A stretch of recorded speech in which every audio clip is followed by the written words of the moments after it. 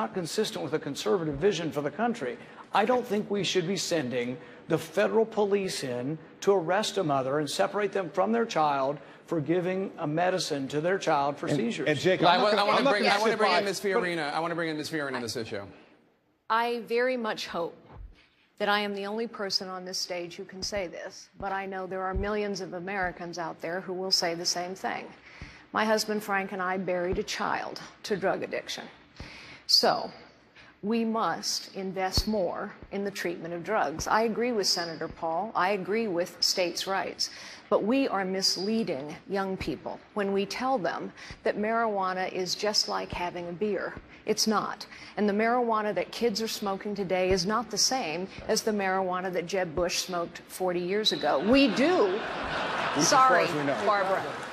We do need we do need criminal justice reform. We have the highest incarceration rates in the world. Two thirds of the people in our prisons are there for nonviolent offenses, mostly drug related. It's clearly not working. But we need to tell young people the truth. Drug addiction is an epidemic, and it is taking too many of our young people. I know this sadly from personal experience. Hugh Hewitt, I'd like to. Thank you, Jake. Tomorrow is, uh, Republicans know this, tomorrow is Constitution Day. We've been talking about the 10th Amendment. Let's talk about the Second Amendment. Governor Bush, one of the things the Supreme Court has gotten right is that it's an individual right. It's protected for individuals to hold it. Last week you said the next step in gun issues is to make sure they're not in the hands of the mentally ill. In this state, there's a controversial law that allows guns to be taken away from people without a hearing. Where does it go? And the problem of violence is endemic, but where does it go from what you said last week, how far into people's lives to take guns away from them? Not very far. I think we need to do this state by state. Uh, there are places that get this right, and we need to make sure that we protect privacy laws. This is a complicated place. But I do think uh, the natural impulse on the left, Hillary Clinton, immediately after uh, one of these horrific violent acts took place, immediately said we need to have federal gun laws. President Obama, almost reflexively, always says the same thing. And the net result is you're going to take away rights of, of law abiding citizens, the 99.999% of the people that are law abiding citizens. That's not the right approach to do it. In Florida, we have a background check.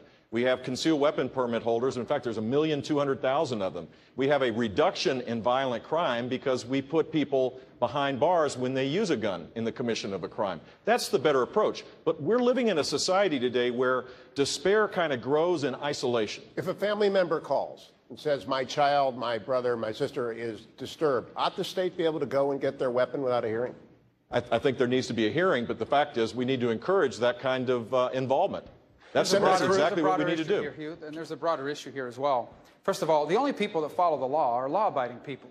Criminals, by definition, ignore the law. So you can pass all the gun laws in the world like the left wants. The criminals are going to ignore it because they are criminals. Here's the real issue. The real issue the real issue is not why, what are people using to commit violence, but why are they committing the violence? And here's the truth because you cannot separate the social, moral well being of your people from their economic and other well being. You cannot separate it. You can't have a strong country without strong people. You cannot have strong people without strong values, and you cannot have strong values without strong families and the institutions in this country that defend and support those Thank families. You, well, and today we have a left-wing government under this president that is undermining all of the institutions in society that support the family and teach those values. Senator Cruz, I wanted to go to you. You're a constitutional litigator. Are you afraid of the next step theory of what happens to Second Amendment rights? I am not. And, and you mentioned that the U.S. Supreme Court had right, rightly upheld the individual right to keep and bear arms. I was proud to lead 31 states before the U.S. Supreme Court defending the Second Amendment, and we won that landmark victory. And indeed, just a couple of years ago, when Harry Reid and Barack Obama came after the right to keep and bear arms of millions of Americans, I was proud to lead the fight in the United States Senate to protect our right to keep and bear arms. And for that reason, you, I was honored to be endorsed by Gun Owners of America Thank as you, the strongest supporter of the Second Amendment on this stage today, and Thank I will you, fight every day I'd like to, to turn to, the Bill I'd like of to turn to Dana Bash. You, Mr. Trump, you have said once or twice that you are really rich, and you are by far the richest person on this stage. Uh, Chris Christie says billionaires like you, and even people who make and, and earn far less, should no longer get Social Security, or at least there should be limits based on the, on the income. You think he's wrong? And if so, why? Speaking my, for myself, I'm okay with it. I think there's a certain truth to it. I know people that, frankly, it has no impact on their life whatsoever. There are many people. I would almost say leave it up to them, but I would be willing to check it off and say I will not get Social Security. I do not. country as, a, as a policy? as a policy, I would almost leave it up to the people. Don't forget, they pay in and they pay in, and maybe they do well, and maybe some people want it.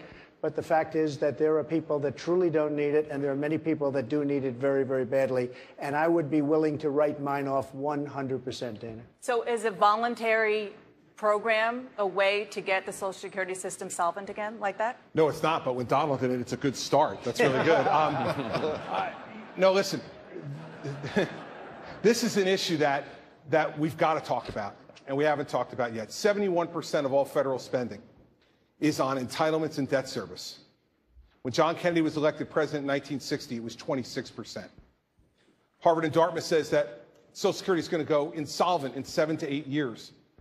So what I say is very simple. We need to save this program for the good people out there who have paid into the system and need it. And if that means making sure that folks like Donald and many of us on this stage don't get it, that's the right thing to do. Because here's what Hillary Clinton's going to want to do. She's going to want to put more money into a system that has already lied to us and stolen from us. This government doesn't need more money to make Social Security solvent. We need to be not paying out benefits to people who don't really need it. We need to protect the people whose Social Security means the difference between picking between heat and rent and food.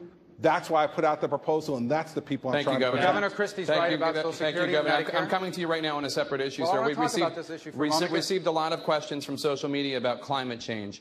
Senator Rubio, Ronald Reagan's uh, Secretary of State George Shultz reminds us that when Reagan was president, he faced a similar situation to the one that we're facing now. There were dire warnings from the mass consensus of the scientific community about the ozone layer shrinking. Shultz says Ronald Reagan urged skeptics in industry to come up with a plan. He said, do it as an insurance policy in case the scientists are right. The scientists were right. Reagan and his approach worked. Secretary Shultz asks, why not take out an insurance policy and approach climate change the Reagan way? because we're not going to destroy our economy the way the left-wing government uh, under, that we are under now wants to do. I'm we're citing going- George Shultz. Well, I, I, I don't. He may have lined up with their positions on this issue, but here's the bottom line. Every proposal they put forward are going to be proposals that will make it harder to do business in America, that will make it harder to create jobs in America. Single parents are already struggling across this country to provide, provide for their families. Maybe a billionaire here in California can, can afford an increase in their utility rates, but a working family in Tampa, Florida, or anywhere across this country cannot afford it. So we are not going to destroy our economy. We are not going to make America a harder place to create jobs in order to pursue policies that will do absolutely nothing, nothing to change our economy, to, to change our climate, to change our weather, because America is a lot of things. The greatest country in the world, absolutely. But America is not a planet.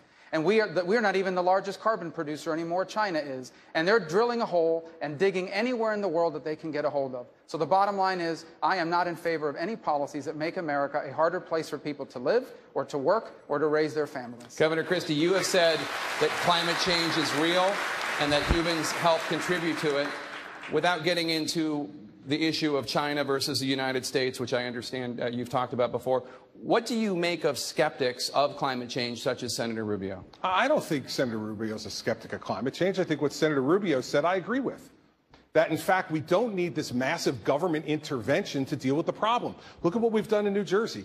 Um, we've already reached our clean air goals for 2020, and when I was governor, I pulled out of the regional cap and trade deal, the only state in the Northeast that did that. And we still reached our goals. Why? Because 53% of our electricity comes from nuclear. We use natural gas. We use solar power. We're the third highest using solar power state. You know why? Because we made all of those things economically feasible. I agree with Marco. We shouldn't be destroying our economy in order to chase some wild left wing idea that somehow us by ourselves is going to fix the climate. We can contribute to that and be economically sound. We've proven that we could do that in New Jersey. Nuclear needs to be back on the table in a significant way in this country if we want to go after this problem. Just for the record, I was citing Secretary of State George Shultz, Ronald Reagan Secretary of State, Yeah, who I, would, you- I don't think I anybody understand. would call him left No, no, listen, and I listen. Everybody makes a mistake every once in a while, Jake. Even George Shultz. And if that's truly a representation of what he believes we should be doing, then with all due respect to the former Secretary of State, I disagree with him. Jake, you mentioned me and called me a denier. Let me say, climate change. I called you a skeptic. Okay, a skeptic. You know, you can measure the climate. You can measure it. That's not the issue we're, being, we're discussing. Here's what I'm skeptical of. I'm skeptical of the, deci- of the decisions that the left wants us to make.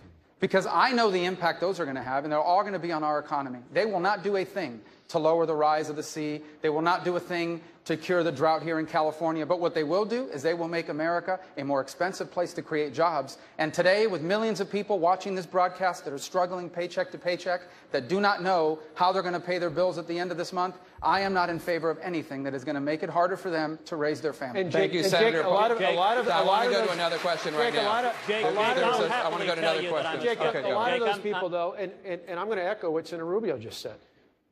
This is an issue where we're talking about in my state, it's thousands of manufacturing jobs. Thousands of manufacturing jobs for a rule the Obama administration, as EPA has said, will have a marginal impact on- on climate change. So we're going to put thousands and thousands of jobs in my state. I think it's something like 30,000 in Ohio, other states across this country. We're going to put people, manufacturing jobs, the kind of jobs that are far greater than minimum wage. This administration is willing to put at risk for something its own EPA says is Thank you. Governor. This Jake, is what's if you Thank you, want a Governor. I'm turning to a, I'm want a turning to another Jake, issue right now. I'm turning to briar I'm turning to another real skeptic. I'm turning to another issue So right now, Senator Cruz. I, well, I think we've heard from several this evening. A backlash against vaccines was blamed for a measles outbreak here in California.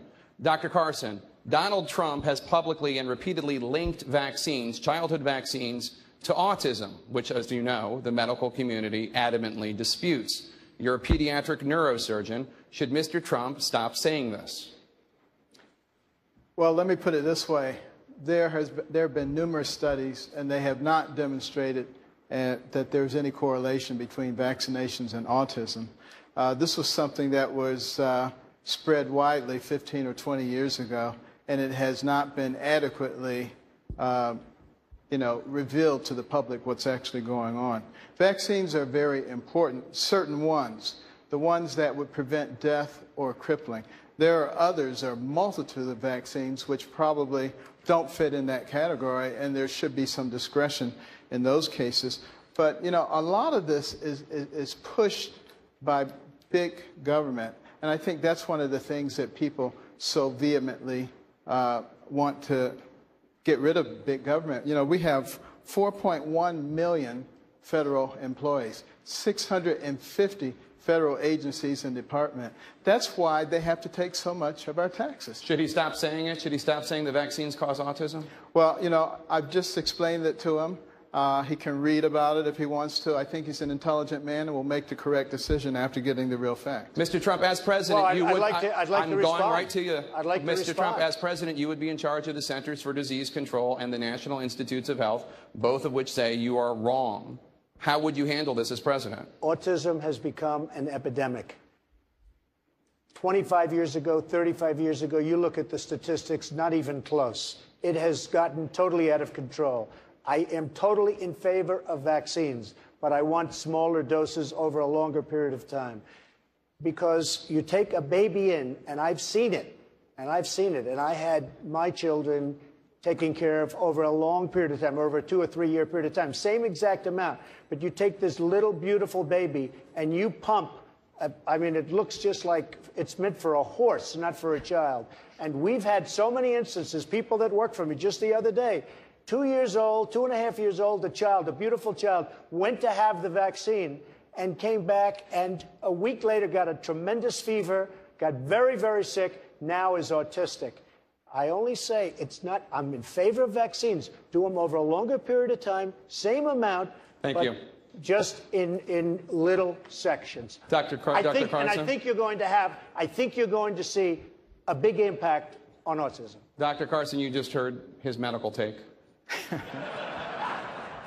He's an okay doctor. Uh, okay.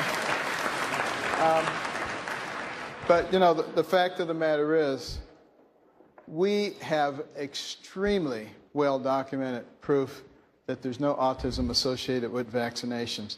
But it is true that we are probably giving way too many in too short a period of time. And a lot of pediatricians now recognize that, and I think are cutting down on the number and the proximity in which those are done. And, I that's think all that's I'm appropriate. saying, Jake. That's Dr. all Paul? I'm saying. Dr. Paul, I'd like to bring you in.